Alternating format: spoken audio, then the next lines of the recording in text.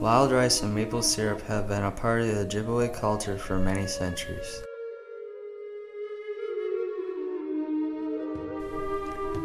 Rice camps and sugar bushes bring Ojibwe people together in spring and fall. That's uh, the, the heart of our, our culture and our beliefs and, and the way that we lived long time ago and today. Wild rice and maple syrup need certain weather and water levels.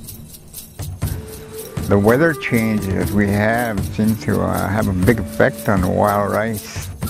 The wild rice is the one that's uh, really being affected by our weather change and not enough rain.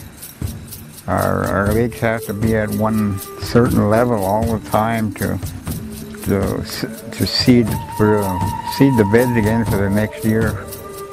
Beneshi, which means uh, thunderbird in the Ojibwe language. Oh, miigwech.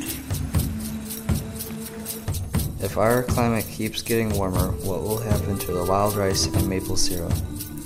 Northern wild rice is really kind of on the southern part of its range here in northern Wisconsin.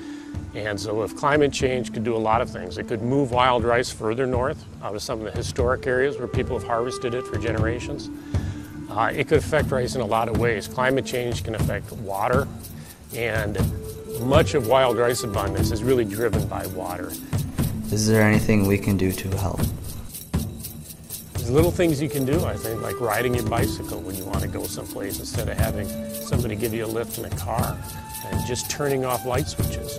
There's a lot of small things, I think, that can add up collectively to be sort of big things.